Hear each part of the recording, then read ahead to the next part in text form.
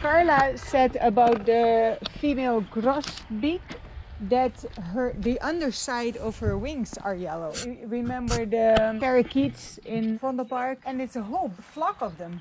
Yeah. And and they keep reproducing, and you know it's a self-sustaining community. Yep. And and it, I'm sure it started with some pets uh, getting lost. Hey, look, hey, sweetie. This is like the, they're d- doubling down here. Nice, or tripling down even. This is a nice, uh, sturdy uh, stack, eh? So are these the edible beans? Um, no.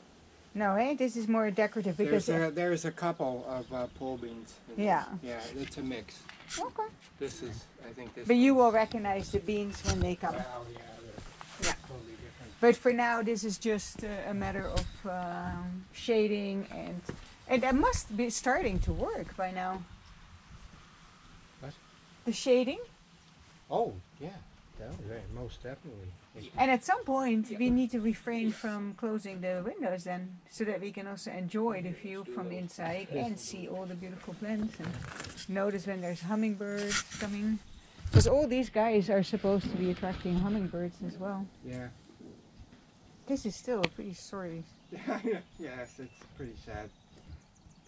Anyway, I'll, I'll keep feeding them, see if Yeah. can come back. Anyway, I would suggest that if this ever becomes our uh, little haven, uh, that maybe uh, we have a small little bed there, and and the patio stones will fill this in, and have a little table in the shade.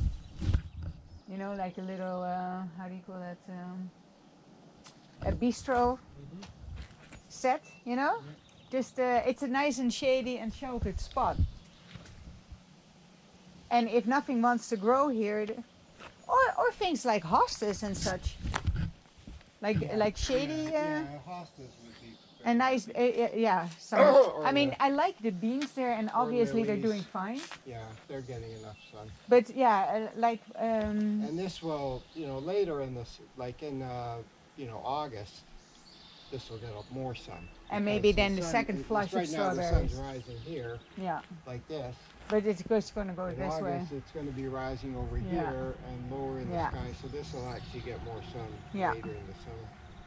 Yeah. Um, I didn't realize when we planted, when we, you know, because I, I, I wasn't really here until August. No, exactly. So you thought like, oh wow, this looks great. Plenty.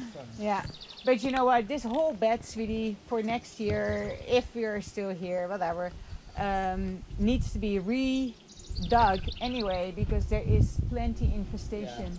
Yeah. And then I would take the stones out again and just kind of like start from scratch, dig everything up, rethink it, and and um,